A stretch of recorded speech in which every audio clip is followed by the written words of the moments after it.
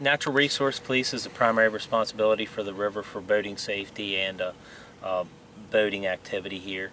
On the 4th of July weekend, we will have uh, officers on the water from approximately 8 a.m. until 10 p.m. or 12 p.m. Uh, our activity will be mostly peak during the day between 12 and probably 5 p.m. Uh, we'll do boating safety checks, uh, compliance checks to make sure they have all their safety equipment. At that time when it gets real busy, it is a, a regulation that you must stay 100 feet away from any other vessel or the shoreline or docks. And that is a, usually sometimes a, an issue with uh, the personal watercraft or jet skis. So we, will have a lot of them on the river during uh, the 4th of July weekend. And also we have minimum wake zones and speed limits.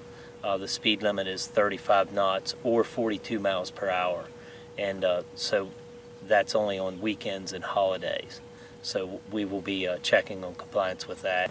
The basic things that you need to have on on the vessel are uh, you need a personal flotation device or a life jacket for each person, and they must be the correct size.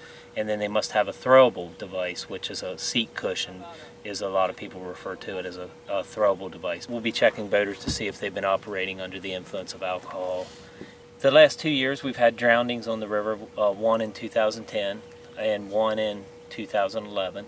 Uh, alcohol has been involved in both uh, cases and uh, it was a factor in the drownings. We attribute the, the small number to uh, we have a requirement of personal flotation devices that uh, they're required to be worn when a vessel is underway or under power. That means either floating or uh, under motorized power from November 15th to uh, May 15th.